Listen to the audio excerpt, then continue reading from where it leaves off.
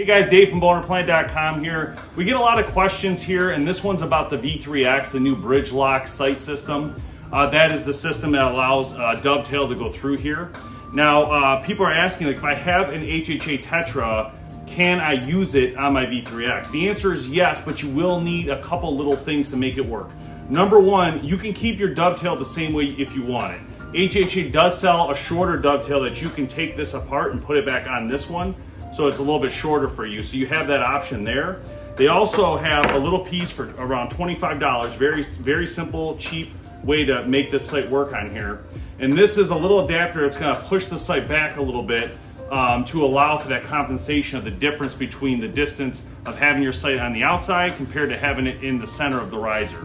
So that is a difference, and because of that, you have to offset a little bit, and HHA gives you that option right here, and it's very cheap, very simple. All right, guys, that's simple. I swapped out the back bar and I put in this little adapter. Now, you don't have, you could just do the adapter, keep your old bar if you wanted. It's up to you.